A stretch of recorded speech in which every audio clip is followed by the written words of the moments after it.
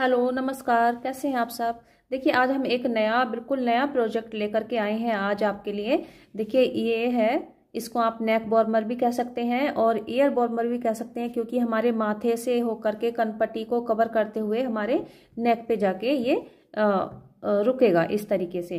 तो आज हम इसको बनाएँगे। ये देखिए। और ये हेलमेट में भी बड़े अच्छे से कैरी हो जाता है। जो लोग हेलमेट पहन के बाइक चलाते हैं जाड़ों में तो कैप पहन के हेलमेट चला मतलब पहनना, कैप पहन के जब हम हेलमेट पहनते हैं तो थोड़ा सा सिर के ऊपर थोड़ा सा मोटा मोटा लगता है, लेकिन इससे बिल्कुल भी मोटा नहीं लगेगा, हमारा माथा बिल्कुल कवर हो जाता है इससे। कान भी हमारे कवर हो जाते हैं और हमारा जो पीछे का हिस्सा होता है सिर का, वो हमारा खाली रहता है। तो हमारा हेलमेट बड़े अच्छे से आ जाता है, हमें अलकस नहीं लगता उसमें, आलस नहीं लगता है। तो आज हम इसको बनाएँगे। ये मैंने पंद्रह फंदों से यहाँ पे शुरू किया है और मैंने स्टेप बाय स्टेप आपको इसमें बताया है कि किस तरीके से बनाया है बनाया है ये। मैंने और ये मैंने खुद से पहन के देखा है, मैंने ये खुद के लिए बनाया है तो आप समझ सकते हैं कि एक, जो बड़ा व्यक्ति होता है, पुरुष हो या महिला हो, उसके लिए हमें कितने फंदे चाहिए हो। लेकिन अगर आपको ये फिर भी टाइट लगे तो आप इसमें दो तीन सिलाई और ऐड कर सकते हैं। चलिए शुरू करते हैं अपना वीडियो। तो इसके लिए मैंने, देखिए, पिंक कलर का ऊन लिया है और अपनी दस नंबर की ये सिलाइयाँ ली हैं। शुरू करते हैं तो इसमें हम सबसे पहले पंद्रह फंदे डालेंगे सिंगल ऊन से। तो हमें ज़्यादा ऊन नहीं लेनी है इस साइड पे। थोड़ी सी ऊन लेनी है जिससे हमारे फिफ्टीन स्टिच आराम से आ जाए। दो, तीन, चार, पाँच, छ, सात, आठ, नौ, दस, ग्यारह, बारह तेरह, चौदह, पंद्रह। ये हमारे यहाँ पर फिफ्टीन स्टिच आ गए, पंद्रह फंदे आ गए। देखिए, एक एक, दो, तीन, चार, पाँच छः सात, आठ, नौ, दस, ग्यारह, बारह, तेरह, चौदह, पंद्रह। पंद्रह फंदे हमारे इस तरीके से हमने बना लिए हैं। यहाँ पर आप चाहें तो एक गांठ लगा दें। इस तरीके से। और ये मेरी पहली सिलाई जो है, उल्टी आती है तो हम इसको उल्टा बुनेंगे। और पहली सिलाई को आप सावधानी के साथ बुने क्योंकि फंदे टाइट होते हैं तो हम जल्दी जल्दी बुनने में कहीं ऐसा ना हो कि हम एक आध फंदा निकाल दें सिलाई से। तो वो जो है उठना जो है मुश्किल हो जाता है। इस तरीके से हम सभी फंदों को उल्टा बुनेंगे। और जो भी मैं आपको बताऊँ, उसको आप ध्यान से सुने। वैसा ही करें जैसा मैं बता रही हूँ तो ये एकदम वैसा ही बनता है जैसा मैं बनाऊँगी। देखिए, हमने चौदह फंदे बुन लिए हैं, लास्ट का फंदा हमारा इस सिलाई में बचा है तो हम धागा पीछे करेंगे और इसको सीधा बनाएँगे। इससे क्या होगा, हमारी एक बहुत फिनिशिंग सी चेन बन के आएगी। ये हम सीधी साइड पे आ गए तो पहले फंदे को हम बिना बुना ले लेंगे और सभी फंदों को, सभी फंदों को नहीं, एक फंदा छोड़ के बीच के जो तेरह फंदे बचे हैं, हम उनको उल्टा उल्टा बनाएँगे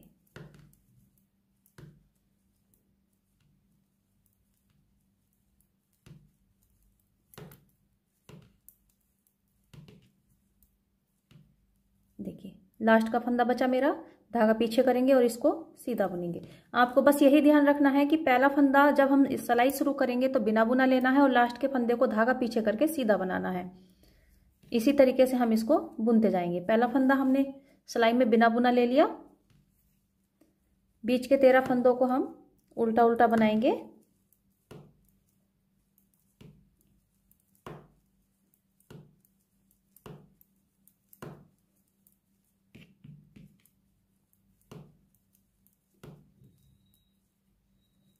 देखिए लास्ट का फंदा बचा, धागा पीछे करेंगे, इसको सीधा बनाएँगे। इसी तरीके से हमें बुनते हुए यहाँ पर अपनी दस सिलाइयाँ कंप्लीट कर लेनी है। दस लाइनें कंप्लीट कर लेनी है। यहाँ पर जैसे ये एक लाइन आ गई बन के तो हम इस तरीके की या तो दस लाइन कर लें या फिर दोनों तरफ़ से गिनते हुए हमें बीस सिलाइयाँ कर लेनी है। दस इधर से और दस इधर से। तो मैं बना लेती हूँ। यहाँ पर हमने अपनी बीस सिलाइयाँ कंप्लीट कर ली हैं। अब देखिए हमें क्या करना है।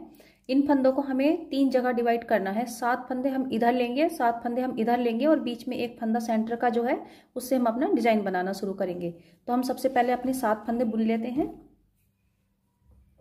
पहला फंदा हमने स्किप किया। छः फंदे हम उल्टे बुनेंगे। दो दो फंदे हो गए अभी हमारे इधर। तीन, चार, पाँच छ तीन तीन छ और एक ये सात।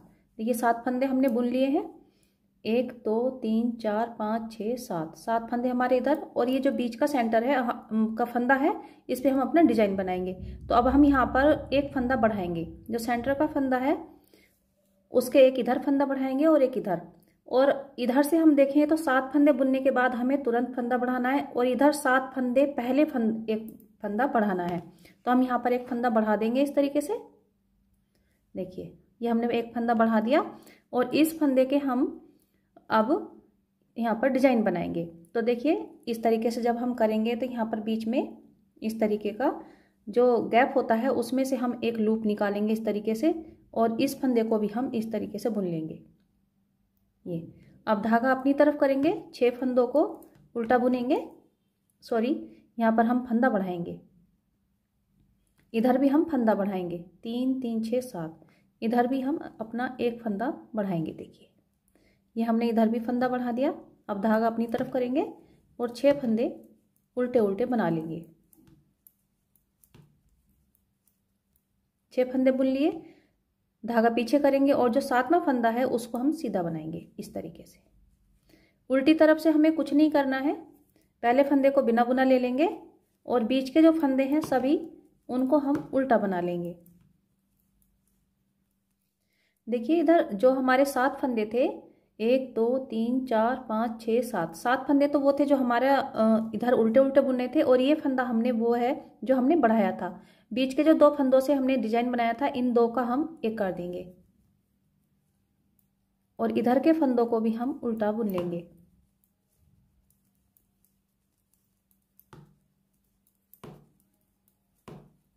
लास्ट का फंदा बचा, धागा पीछे करेंगे और सीधा बनाएँगे। अब हम सीधी तरफ़ आ गए। पहला फंदा बिना बुना लेंगे और छह फंदे हम उल्टे बुनेंगे। देखिए, एक फंदा बुन लिया। दो, तीन, चार, पाँच छ छः फंदे हो गए। टोटल हमारे यहाँ पर सात फंदे हो गए। एक हमने बिना बुना लिया था और छः फंदे हमने बुन लिए। तो ये हमारे टोटल सात फंदे हो गए, जिसको हमें कंटिन्यूस उल्टा ही बुनना है सीधी तरफ़ से। अब देखिए, यहाँ पर हमें फंदा बढ़ाना है। सात फंदे बुनने के बाद हमें फंदा बढ़ाना है। अब ये जो वाला डिज़ाइन था, ये हमने बीच के फंदे पे बनाया था तो अब इस बार हम इस वाले फंदे पे बनाएँगे। इस तरीके से। और इसमें हमने डिज़ाइन बनाया था तो इसको हम सीधा ही ऐसे ही बुन लेंगे। देखिए, ये वाला फंदा हमने पिछली बार बढ़ाया था तो इधर हम इस पे डिज़ाइन बनाएँगे। फिर एक फंदा बढ़ाएँगे। और इधर हमारे सात फंदे बचे, तीन तीन छः सात। तो इनको हम धागा आगे करेंगे। छः फंदों को उल्टा बुनेंगे और लास्ट के फंदे को हम धागा पीछे करके सीधा बनाएँगे। छः फंदे बुन लिए, लास्ट का फंदा बचा, धागा पीछे करेंगे और सीधा बनाएँगे। इस तरीके से। उल्टी तरफ़ से हमें कोई भी फंदा नहीं बढ़ाना है। उल्टा बुनना है और जो डिज़ाइन वाले फंदे हैं, उनको दो का एक करना है।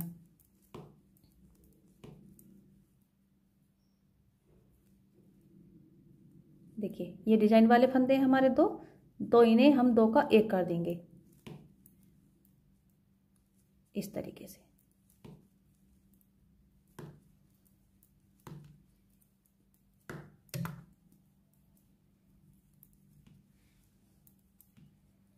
लास्ट का फंदा बचा, धागा पीछे करके इसको सीधा बनाएँगे। अब हम देखिए सीधी तरफ़ आ गए। पहला फंदा बिना बुना लेंगे और छह फंदे हम उल्टे बनाएँगे। टोटल हमारे इधर सात फंदे हो जाने चाहिए। तीन तीन छः और एक, ये सात। देखिए, एक हमने बिना बुना लिया था और छह फंदे हमने उल्टे उल्टे बुन लिए। अब हम इस वाले डिज़ाइन पे जो हमने फंदा बढ़ाया था, उस पर हम अपना डिज़ाइन बनाएँगे। तो बीच से जो देखिए, ये जो गैप होता है, यहाँ से हम सिलाई निकालेंगे इस तरीके से। ये लूप बना लिया हमने, फिर इस फंदे को बुन देंगे। तो ये हमारा एक का दो हो गए। अब इस पर हमने पिछली बार डिज़ाइन बनाया था तो इसको हम ऐसे ही बुन लेंगे। इस पर हमने डिज़ाइन नहीं बनाया था, बीच का फंदा है तो इस पर हम डिज़ाइन बनाएँगे इस बार, इस तरीके से। इस पर डिज़ाइन बनाया था तो इसको हम सीधा ही बुन लेंगे। ये हमने पिछली बार बढ़ाया था तो हम इस पर सॉरी, यहाँ पर हम इस बार फंदा बढ़ाना भूल गए तो हम इस बार फंदा बढ़ा लेते हैं इधर।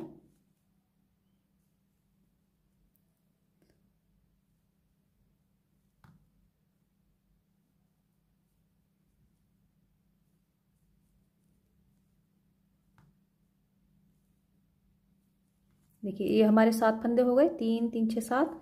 अब यहाँ पर हम फंदा बढ़ाएँगे। फंदा बढ़ाने के बाद हम वैसे ही बुनेंगे जैसे हम बुन रहे थे।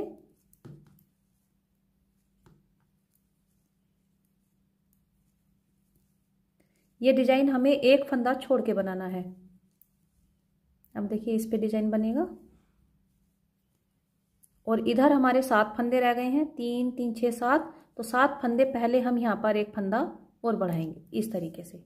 दोनों साइडों में हम फंदे बढ़ाते रहेंगे, धागा अपनी तरफ़ करेंगे छः फंदे उल्टे बुनेंगे।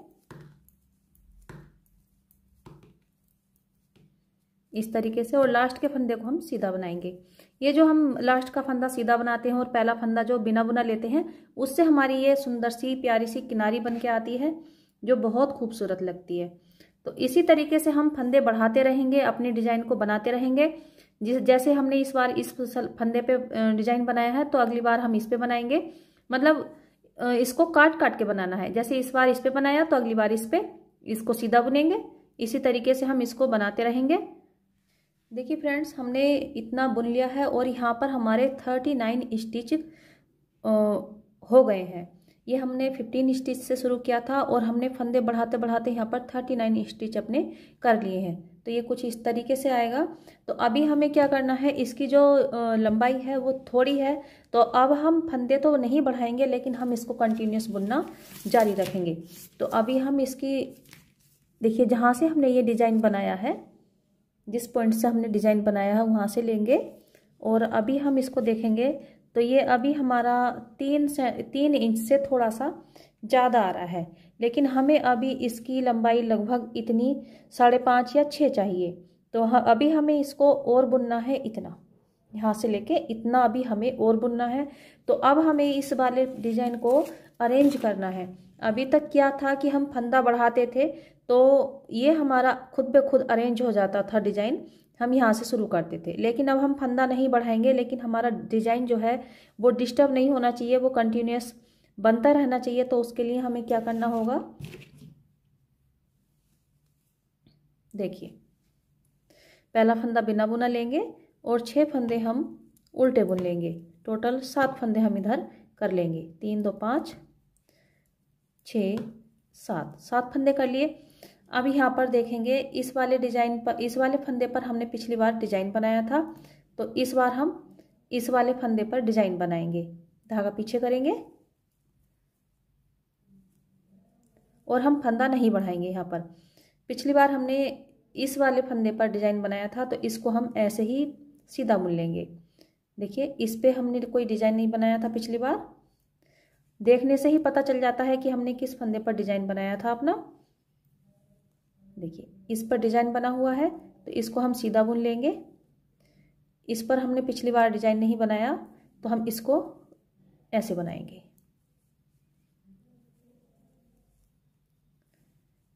इसी को बुनते हुए हम अपनी सिलाई कंप्लीट करेंगे।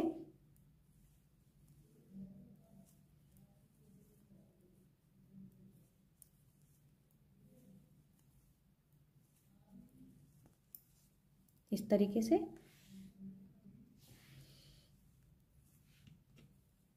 देखिए, ये हमारा लास्ट का फंदा है इधर। तीन तीन छ सात। सात फंदे हमने ले लिए, ये हमारा फंदा बचा तो इस पे हम डिज़ाइन बनाएँगे। इस तरीके से देखिए। कहीं भी मेरा इस सिलाई में डिज़ाइन नहीं कटा है, धागा अपनी तरफ़ करेंगे, छह फंदे उल्टे बुनेंगे। और लास्ट के फंदे को धागा पीछे करके सीधा बनाएँगे। उल्टी तरफ़ से हमारा पैटर्न वैसा ही रहेगा जैसे हम पहले बुनते थे। सिंगल फंदे को सिंगल बनाना है और जहाँ पर हमने एक फंदे के दो फंदे बनाए हैं, उनको दो का एक करना है। देखिए, जैसे ये ऐसे करने से ही पता चल जाता है कि ये दो, ये फंदा जो है हमने इसका एक का दो किया है। तो दो का एक करेंगे, इसको अकेला बुनेंगे, इस तरीके से दोनों को एक साथ बुनेंगे। यहाँ पर दो को एक करेंगे। जो हमने सीधी सिलाई पे एक फंदे से दो फंदे बनाए थे, उनको उल्टी सिलाई में दो का एक करना है।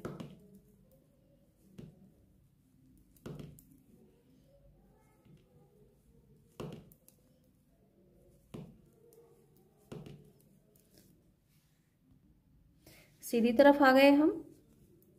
पहला फंदा बिना बुना लेंगे, बाकी के छह फंदों को हम उल्टा बुनेंगे।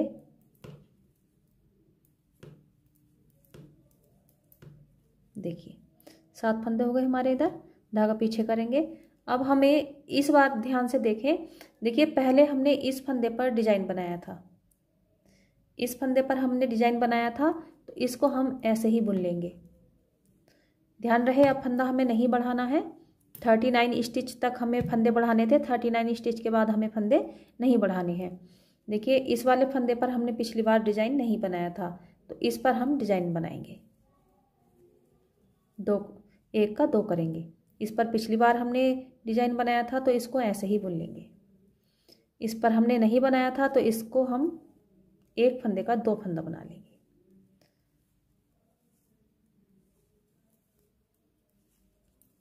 हमें जो अपना डिज़ाइन अरेंज करना है, वो हमें स्टार्टिंग के फंदे से ही करना है। अगर हमारा फंदे पर वो पिछली सिलाई पे डिज़ाइन बना है तो इस बार हम डिज़ाइन नहीं बनाएँगे और जैसे मैंने इस बार डिज़ाइन नहीं बनाया है तो अगली सिलाई में हम इस पर डिज़ाइन बनाएँगे। मतलब काट के, क्रॉस में इसको करेंगे।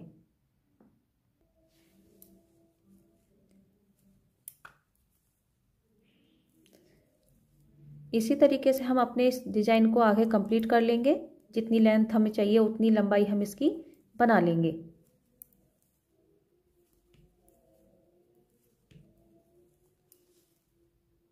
उम्मीद है आपको समझ में आ रहा होगा। इधर देखिए इधर हमें सात फंदे बचाने हैं। एक, दो, तीन, चार, पाँच छः सात। सात फंदे हमारे ये बचे। और ये जो फंदा है, हमने इस पे देखिए एक फंदे का दो बना लिया है और इस फंदे को हम इसको ऐसे ही सीधा बुनेंगे। धागा करेंगे। बाकी के फंदों को हम उल्टा बुन लेंगे। इसी तरीके से हमें अपने पैटर्न को बनाते रहना है। देखिए, हम फिर से सीधी तरफ़ आ गए और हमने यहाँ पर सात फंदे बुन लिए हैं। तीन तीन छः सात। और अब हम अपना डिज़ाइन बनाएँगे। तो देखिए, पिछली बार हमने इस फंदे पर डिज़ाइन नहीं बनाया था। तो इस बार हम इस फंदे पर डिज़ाइन बनाएँगे। पिछली बार हमने इस फंदे पर डिज़ाइन बनाया था। इस बार हम इधर से शुरू करेंगे। पिछली बार हमने पहला फंदा छोड़ा था। इस बार हम पहले से ही डिज़ाइन बनाएँगे। बस इतना ही हमें ध्यान रखना है कि जिस फंदे पर हमने पिछली बार डिज़ाइन बनाया था, इस बार हमें उस फंदे पर डिज़ाइन नहीं बनाना है।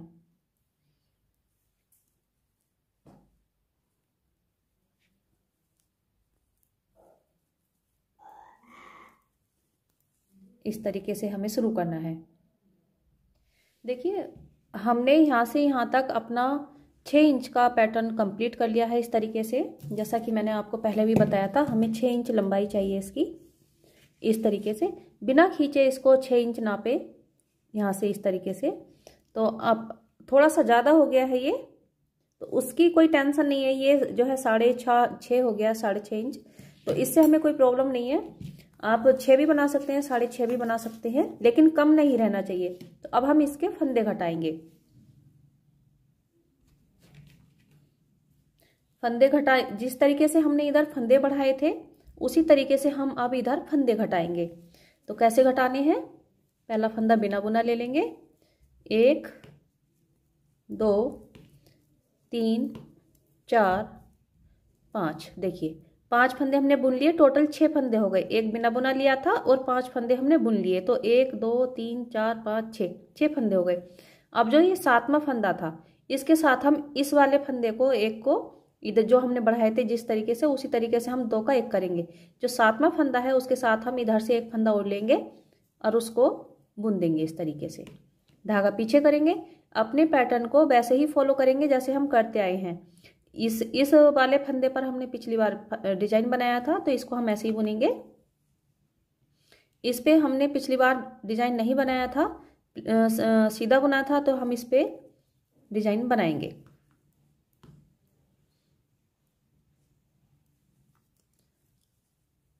इसको ऐसे ही बुन लेंगे। जब हम अपनी सिलाई शुरू करें, वहाँ पर हम बस एक फंदा ठीक से देख लें कि इस पे डिज़ाइन बना हुआ है या नहीं है। बस तो हम, हमारा अगर दो फंदा ठीक से बन गया तो पूरा पैटर्न हमारा ठीक से बनता चला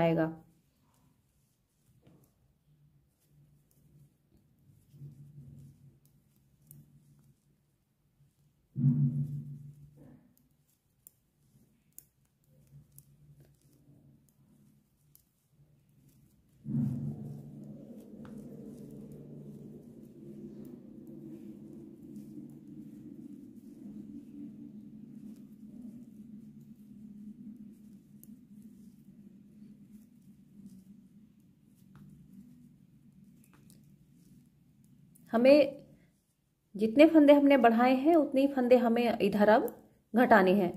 तभी तो हमारा जो ये इस नेक बॉर्मर है, तभी तो कम्प्लीटली बनेगा। जैसे, जिस तरीके से बढ़ाएँगे उसी तरीके से हम इसमें अब घटाएँगे। तो अब देखिए इस साइड हम कैसे घटाएँगे।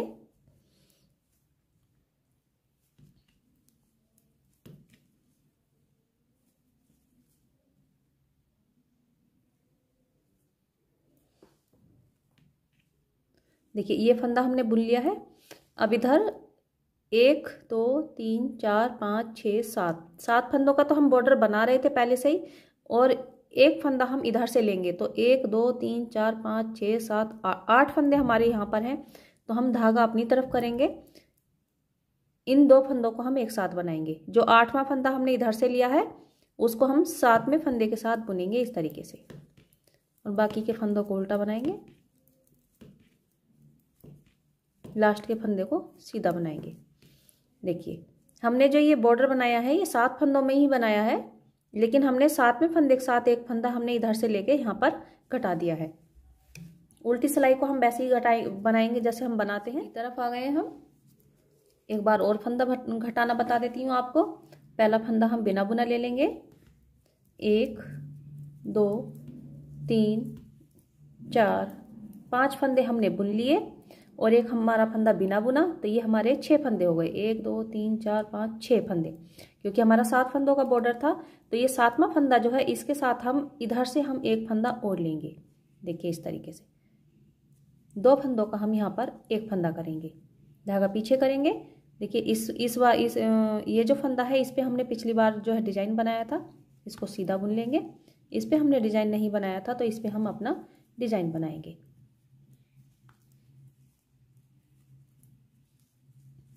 इधर भी हम आठ फंदे छोड़ेंगे। तीन तीन छ सात, आठ। इतने फंदे हम बुन लेंगे इसी तरीके से जैसे हम अपना डिज़ाइन बना रहे हैं। और इस सातवें फंदे के साथ, इस आठवें फंदे को हम दो का एक कर देंगे। ये हमारे बॉर्डर वाले फंदे सात ही रहने हैं, लेकिन हम इधर वाले फंदे को एक, इधर सातवें फंदे पर लेते हुए उसको दो का एक करेंगे। चलिए मैं बता देती हूँ।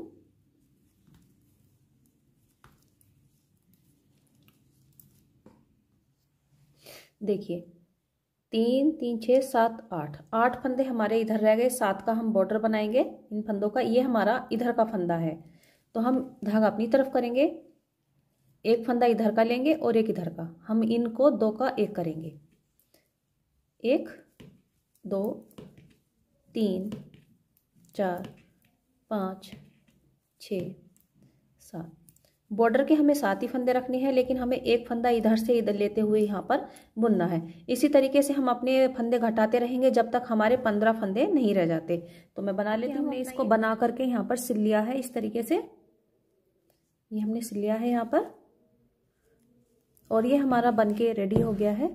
और ये मैंने खुद पहन के देखा है तो अभी ये धोने के बाद, पहनने के बाद खुलेगा, क्योंकि ये बूल है तो खिंचता है ये। तो आप जब इसको बनाएँ तो थोड़ा सा टाइट रहने दें। ये क्योंकि ढीला जो होता है, ये कनपट्टी पे नहीं रुकेगा, कैप की एक अलग बात होती है। तो थोड़ा सा टाइट रहने दें, ये धोने के बाद और पहनने के बाद ये अपने आप थोड़ा सा ढीला हो जाएगा। तो मुझे खुद से ये फिट आया है, परफेक्ट आया है।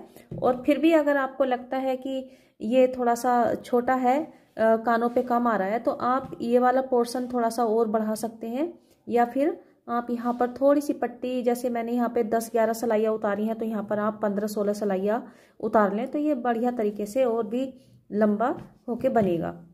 और अगर आपको ये भी मेज़रमेंट समझ में नहीं आ रहा है तो मैं आपको एक तरीका और बताती हूँ।